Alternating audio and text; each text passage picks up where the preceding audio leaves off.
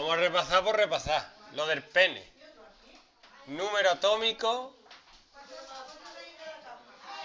¿Qué partícula tiene un átomo?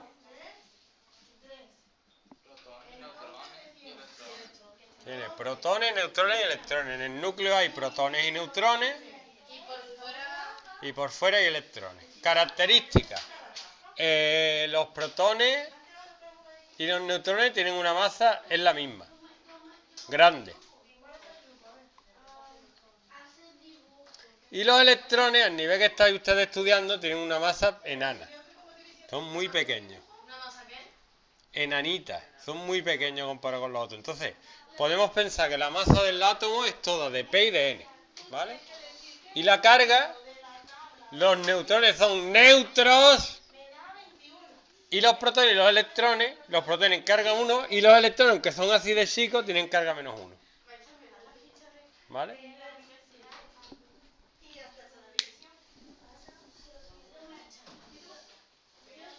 Entonces los átomos se definen por su número atómico y su número másico. El número atómico es el número de protones. Y el número másico es el número de protones más de neutrones.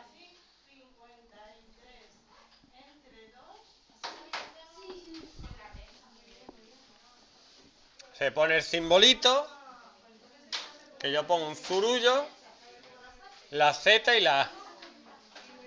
La Z es número atómico y la A es número másico. ¿Vale? La tabla. La tabla. Una tabla periódica.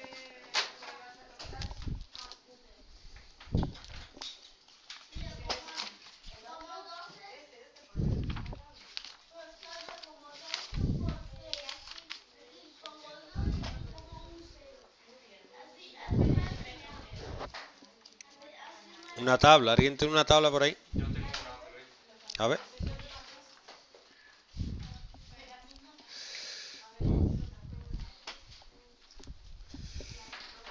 Dejar móvil ya, ¿no?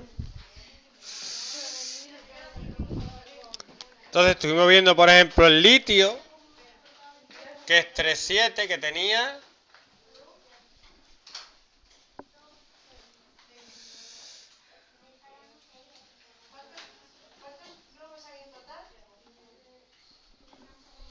Sería eso, ¿vale?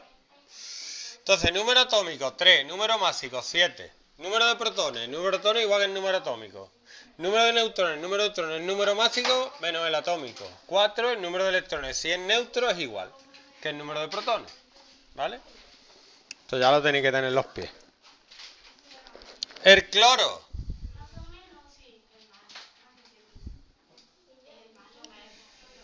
Protones. Neutrones 18, 35 menos 17, electrones 17. Luego había átomos que no eran neutros, por ejemplo el sodio. Que el sodio es 1123 y se puede presentar neutro o con carga positiva. ¿Vale? Si es neutro, 1123. Número de protones 11, número de neutrones 12, electrones 11. 11, 23, 11, neutrones 12, pero si tiene una carga positiva, el número que cambia nunca es el número de protones y neutrones, no cambia el número de electrones. Si tiene una carga positiva, es que ha perdido un electrón. Si ha perdido uno, tiene 10 positivas y 10 negativas, 11 positivas y 10 negativas, 11 menos 10, 1. Y luego estaba él el azufre, por ejemplo, que es 1632 y tiene 16 protones, 32, protones 16, neutrones 16 electrones 16. Pero también te puedes encontrar el S2 menos